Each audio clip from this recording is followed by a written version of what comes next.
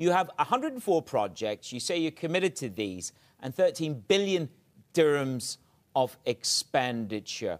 Will you remain, if I speak to you in a year's time, are you going to say, Manus, I have not had to cut back at all in terms of the number of projects or the commitment of capital? There's no headwind at all to these numbers.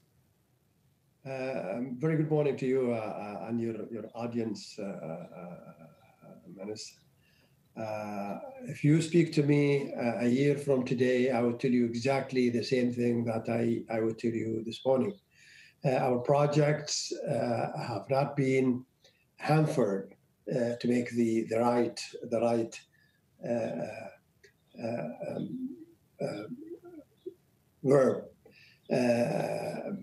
most projects in the whole universe were affected by the uh, by the uh, pandemic phenomena all over the world.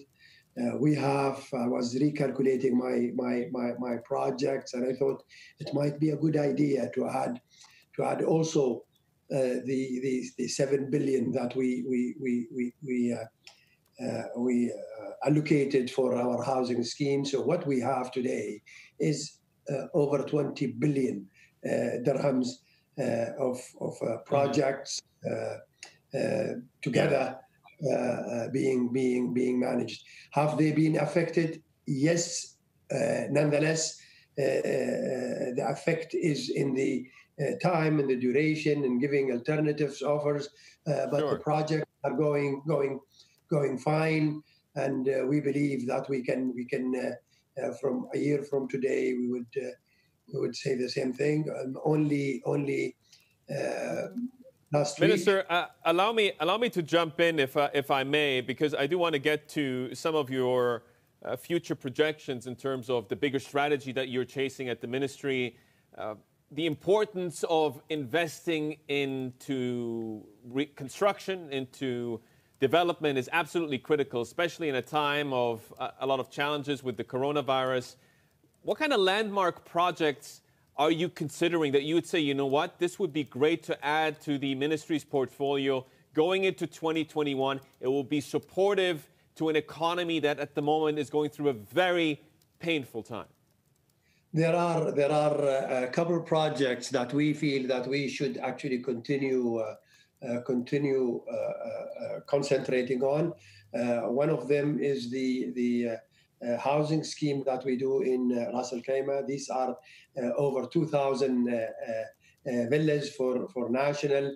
Uh, 800 uh, of them is is, is actually rather 1,000 of them are, are under construction. Um, only last week we had to we took over. partial taking over of some some some some villas. That is that is one of the bulky projects that we we we really look into into very highly. Uh, the second one is a highway that is actually uh, connecting uh, the north and the west, and that project is almost at the end of the of its uh, its uh, its duration. So probably in six months' time, we would have a new project being put in service for our network. Minister, can I ask you, just before we spoke to you, we, we spoke about the message from the Kuwaiti Prime Minister that uh, expatriates need to be downsized in the country.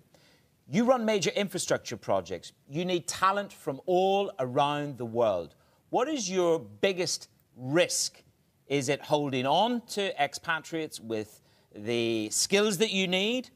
Or is it encouraging people to stay here and weather the storm? Your message to the expatriate community that work on infrastructure and projects is integral. What is it this morning, Minister? We did actually both. Uh, we've given the uh, opportunity for expats to take uh, long leave if they wish, um, uh, and we supported the uh, contractors, uh, the, the, the mega contractors that that that would actually Uh, uh, downsize their workforce, and that is uh, uh, something that is that we support. Uh, nonetheless, uh, we believe that the United Arab Emirates is a, is a is a place where where this ex- the expats that we have today are well skilled and we would definitely need them. the pandemic is not going to be here for, for, for a long time, and we do not really think that Uh, uh, we base our future strategies on a on a on a, uh, a, a, a pandemic that comes uh, probably for six months or a year or even more. Uh, but the, the, the, the, the, world would definitely uh, deal with it and get rid of it. And then we would, we would, we would really regret the minute that we, we thought that, okay, we would get rid of our, our skilled workforce, whether it's, it's national workforce or expats.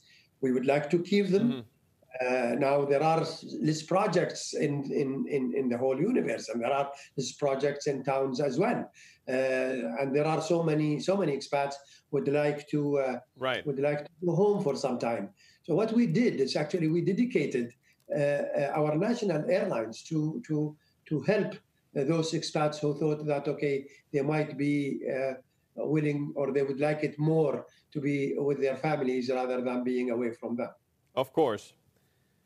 Uh, Minister, uh, in terms of the economy in the United Arab Emirates, uh, you are involved at the very top level of government, so you get all kinds of reports. And then within the remit, remit of the ministry, you've got your own data as well. What is your sense as to when we're going to get back on track in terms of the recovery? How long is this going to take us? Is it going to be a V shaped recovery, or do you think this is actually going to take a long time for the UAE and for the world to get back to a healthy level of development? Uh, my my my guess uh, uh would probably be a combination of a V and a U shape. Uh, uh, we have we have so far in the United Arab Emirates, and this is this is Uh, this is not really uh, uh, the judgment. this pandemic is a worldwide issue, and for the whole for the economy to really uh, uh, get back into into its its course again. Uh, the whole world has to recover. now we've seen we've seen recovery in in many in many countries. We also have similar things in in in in the United Arab Emirates, where big numbers of of of coronavirus uh, uh, uh, patients are, are recovering. And that is a good sign for us. So what I see actually into this, I see a combination of both U and a V shape for recovery. But the recovery is the imminent thing that we, we build all our strategies on.